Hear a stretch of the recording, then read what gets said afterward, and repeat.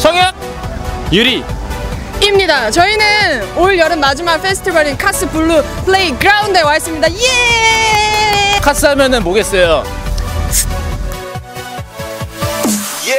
Let's get it. Yeah.